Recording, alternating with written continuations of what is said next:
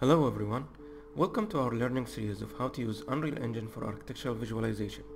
In this video, we're going to be talking about ray trace inside Unreal Engine and how to apply it in our project example. So let's get started by enabling ray trace and restart the engine. So first we're going to go to the project setting and go basically to the Windows and enable the default RHI to DirectX 12.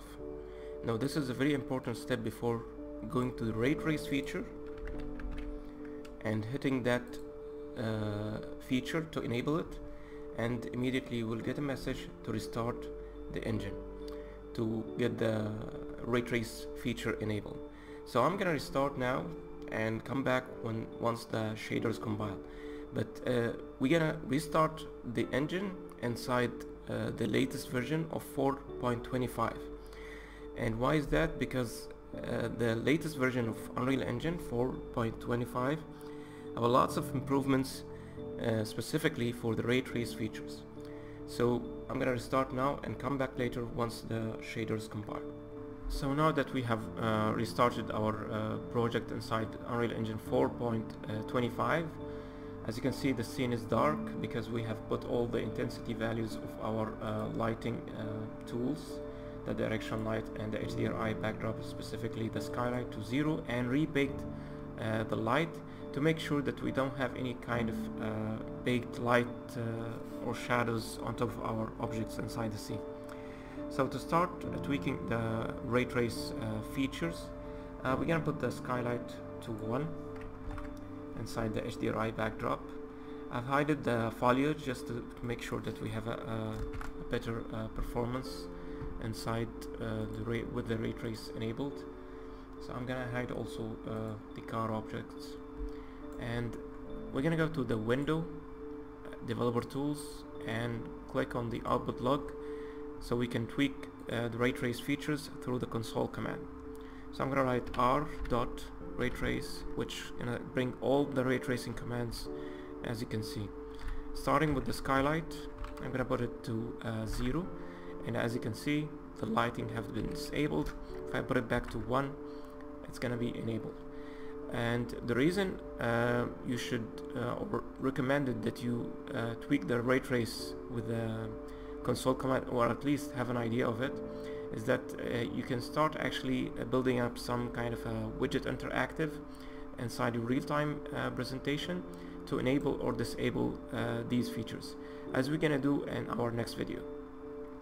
So now that we have our uh, ray trace uh, skylight enabled, we can go for the second one, which is going to be the global illumination. So we're going to be ray trace, and if you go down here, you can see the global illumination. Or if you just going to click on G, it will bring it up, and hitting one will enable global illumination. As you can see, the effect have immediately come into our scene.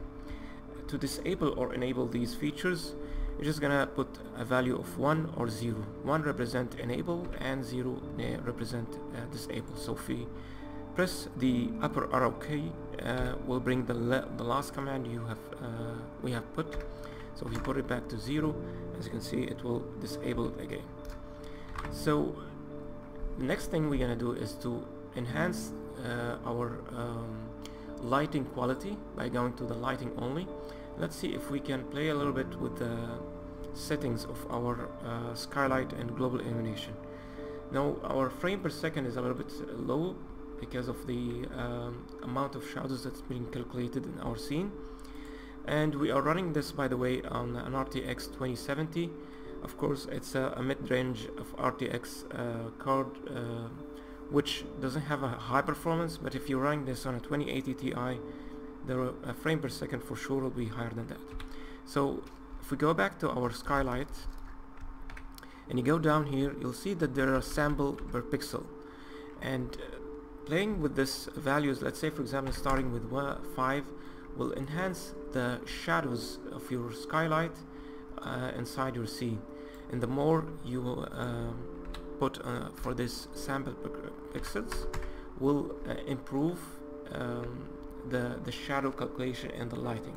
The same goes also for the global illumination, but to tweak the global illumination you have also another way to do this by the post process if you write here ray trace it will bring all the ray trace features uh, that you're gonna find inside the post process so we can mix up uh, the tweaking of the ray trace um, features between the output output log and also the post process uh, features that Epic Games have developed lately. Of course uh, two years ago this was not enabled inside the uh, post process but now that we have this let's start for example looking at the ray tracing global illumination. So we have two kind of uh, the global illumination. The one is uh, the first one is the brute force and the second was the final gather. The final gather actually is much uh, recommended uh, is, is, more recommended actually because it gives you uh, a better performance in terms of real-time uh, movements and a better frame per second. So if we put the sample pixel for example to 1 and the maximum bounces let's put it for example to 15 it will definitely as you can see lower the noise uh, once you uh, stop for example uh, put the the the camera at this at the, at the point where it's start to uh, calculate uh, the bounces you'll see that the scene start to clear up. So let's bring our lit uh, scene and see how this is gonna go. Um, okay so jumping from brute force to final gather you can choose which one uh, fit your scene depending on your frame per second um, uh, as it's being displayed. So let's move to the next one which is the uh, reflection. If we move to the reflection here in our uh, view mode now that we can see uh, the reflection is clear that means it is our uh, ray trace reflection is running. So if we disable that by the log command reflections if we put this to zero immediately you'll see that the reflection is a little bit fuzzy and that means that your uh, ray trace uh, reflection is not enabled. So if we enable that by down to 1 see that the reflection now is clear and this is even without the help of a, sp uh, a sphere uh, screen reflections. And if we go back to the lit mode you're immediately gonna see the reflection on the floor.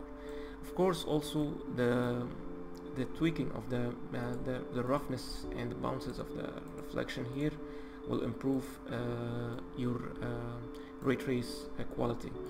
If we put the maximum roughness to zero, that means, for example, that uh, you'll have a zero of roughness. Let's put it here actually. Maybe it will uh, be more visible maximum roughness if we put this to zero immediately you'll see that you don't see any kind of a roughness reflection represented in the material. And this this is where you if you wanna for example want your performance to be higher. So if we put this to one we're gonna start seeing your reflection.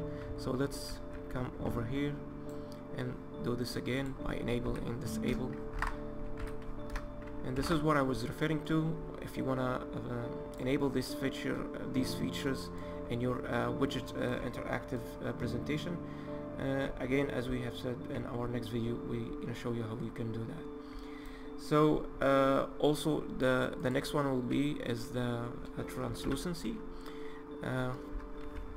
tracing translucency immediately you'll see that your reflection comes on the glass and all of the other um, features uh, that we have enabled uh, so far have uh, improved our uh, ray trace uh, quality.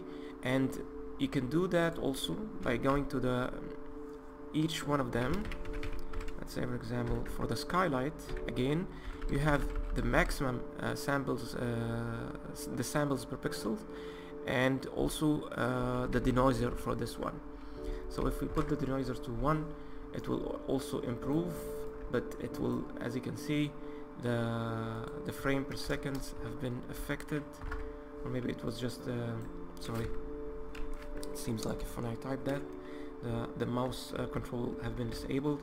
So if we go back again um, it's it's very visible now that we have put the denoiser to zero you can see start to see some of the denoising available the noise available on the, on our uh, skylight and if we put it back to one you start to see a clean and clear uh, calculation of the shadows of the objects. The same goes for all the other features. If we go also to the global illuminations, you'll find that you have also some of the sample per pixel. Increasing this again will improve the uh, global illuminations uh, presentation. One thing also uh, worth mentioning, the global illumination is uh, more uh, visible and more um, clear uh, how you want to Im improve the sample per pixel for it inside the interior scene.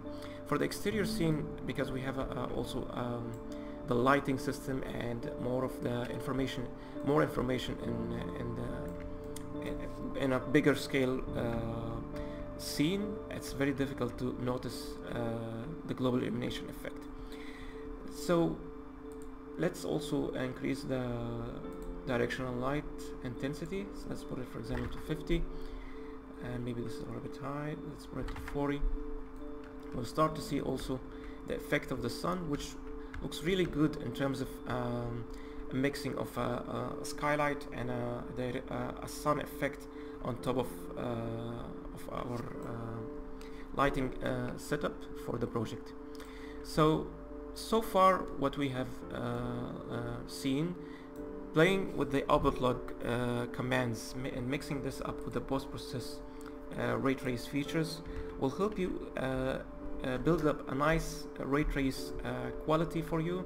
So you can use it for either producing a cinematic video for your project or also if you want to do a very fast uh, real-time uh, presentation um, to, uh, let's say for example to your clients or to your uh, colleagues in your work. And uh, again disabling and enable this is really easy to uh, by using the output log command inside the widget. And this is what we're gonna do actually in our next video. So I hope this was uh, clear uh, and simple regarding how to uh, tweak the ray trace settings inside the Unreal Engine 4.25 and again we choose to do this inside the latest version because uh, there was a lots of improvements uh, regarding the ray trace um, development inside the engine. uh, because we were doing uh, all of the ba light baking and all of the uh, setup that we have done in all of our previous videos and 4.24 so uh, again if you have any question please share it down in the comments and hopefully this was clear and simple for you and uh, see you in the next video. Thank you very much.